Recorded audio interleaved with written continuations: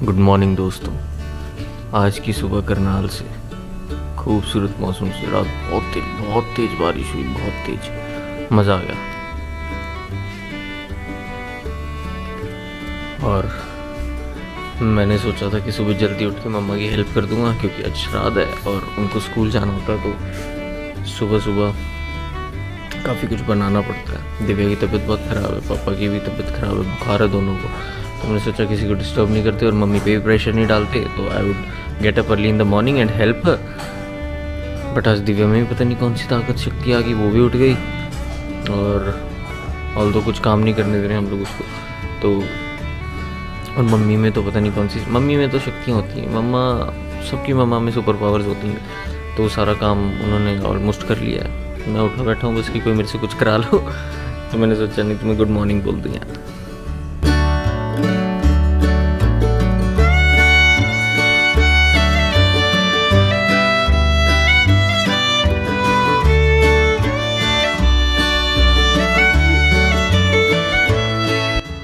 चलो रियो। अच्छा। चल चल चल बगीरा बुला रहा बगीरा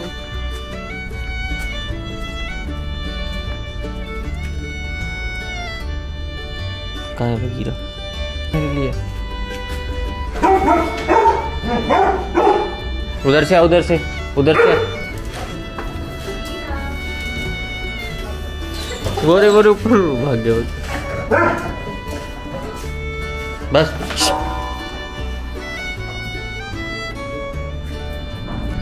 तो ये दोनों बेकार कुत्ते हमारी गली के, सबसे सबसे निकट कुत्ते हैं हमारी गली के। बस इन दोनों को आपस में खेलना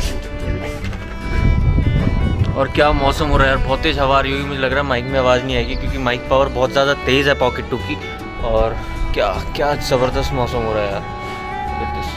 बगीरा मैंने अपनी छत से सुबह सुबह का व्यू दिखाता हूँ आज यार।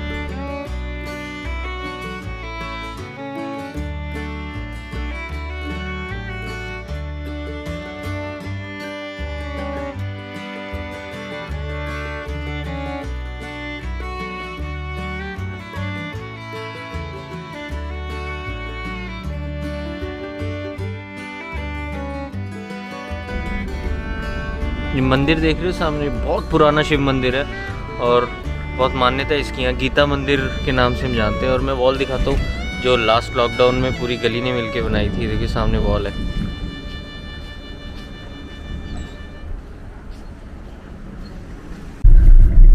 So guys mummy is getting late and she can't wait तो हम जल्दी से जल्दी जा रहे हैं स्कूल और किसी बच्चे को, किसी सब्सक्राइबर को मेरे से मिलना है तो भाई मैं दो चार दिन यहाँ पे और डेली मम्मी को सुबह छोड़ने आऊँगा, मेरे से कमेंट में टाइम फिक्स कर लेना, मैं मिलूँगा ज़रूर।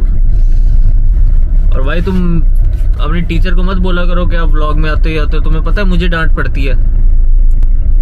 ठीक है ना यार? तो समझा करो बात को यार। बड़ी मुश्किल से लेके आता हूँ मैं इनको ब्लॉग में यार। तुम्हारी टीचर बहुत अच्छी लाइफ जीती है, बढ़िया, हमारे साथ खुश मिजाज है ओके आना चाहिए आना चाहिए उनको खुश मिजाज हो गया ना मेरे व्लॉग में? और गाइज़ अगर आपको अपनी टीचर को कुछ कहना भी है ना तो कमेंट कर दो भाई। ठीक है ना? मेरे मेरे यूट्यूब के नीचे कमेंट कर दिया करो सीधे सीधे ताकि वो मैं भी पढ़ूं और ये भी पढ़ें। और ज़िंदगी मौज है, लो यार, सब अपने पेरेंट्स को खुश रखो बस। और बहुत अच्छा लगता है तुम सबके कमेंट आते हैं। और मम्मी कुछ कह रही है आज पहली बार मम्मी कुछ कह रही है अपनी पसंद से। क्या कुछ कहोगे अपने बच्चों को मम्मा स्कूल के? मेरे स्कूल के बच्चे बहुत अच्छे हैं बहुत प्यारे हैं and I am always for them she is always for you guys thank you guys keep commenting और आप लोग के कमेंट्स आते हैं मैं भी पढ़ता हूँ मम्मा भी पढ़ते हैं सारे हम पढ़ते हैं तो बड़ा अच्छा लगता है। थैंक यू सो मच चलो यार स्कूल का टाइम हो रहा होगा तुम्हारा ओके बाय लेट हो जाओगे गाड़ी आ गया रश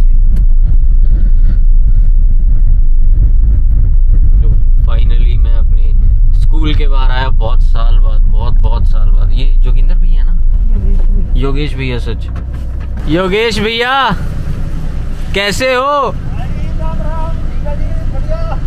बहुत टाइम बाद। मतलब आप और एक बालकिशन भैया, आप बुढ़े बुड्ढे नहीं होगे दोनों, हैं? हैं? ठीक ठाक? चलो ठीक है, ध्यान रखो भैया। ओके। ये हमारे स्कूल के बहुत पुराने पीएन है और बहुत बहुत अमेजिंग है। ये भैया, एक बालकिशन भैया, एक गीता आंटी होती थी छोटे स्कूल में और एक बेला आंटी। ये लोग बुज़ुर्ग नहीं हो, भाई इनके काले बाली रहते हैं। अभी भी इतने जवान है यार, हम, हमें लगता है कि हम बुढ़े हो जाएँगे, ये नहीं होगे भाई। स्कूल की यादें ताज़ा हो जाती है यार। तो मौसम बड़ा अच्छा है और मौसम अच्छा है और करनाल में हूँ तो इसका मतलब है गुरु कृपा सरदार जी के छोले भटूरे बहुत ज़रूरी हैं और वही लेने जा रहे दिव्या और पापा खाएँगे नहीं, क्योंकि दोनों बीमार हैं तो हम खाएँगे तो हम लेने जा रहे हैं अपने लिए बस।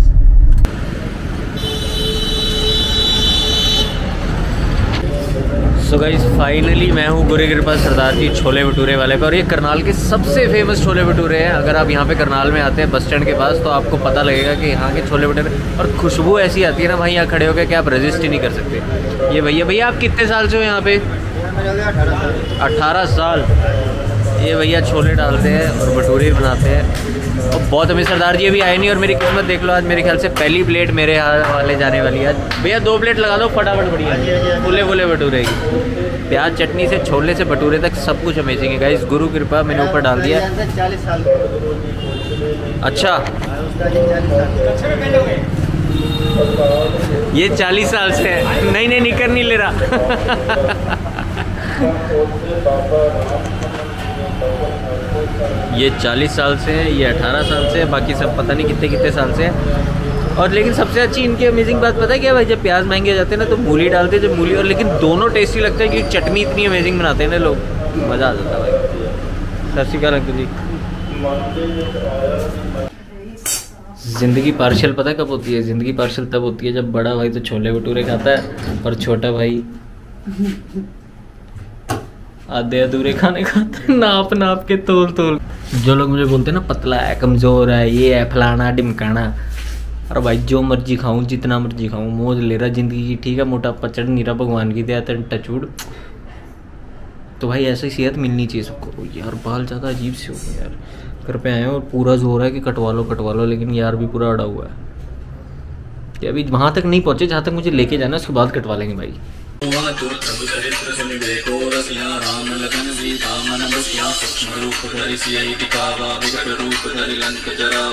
सो गाइस फाइनली मैंने सब कुछ विचार के सोच के अपना एक रूम डिसाइड कर लिया और ये देखो, ये मेरे भाई की कलेक्शन पड़ी है पीछे जूतों की और ये मैं और तुम्हें अपना सेटअप भी दिखा देता हूँ।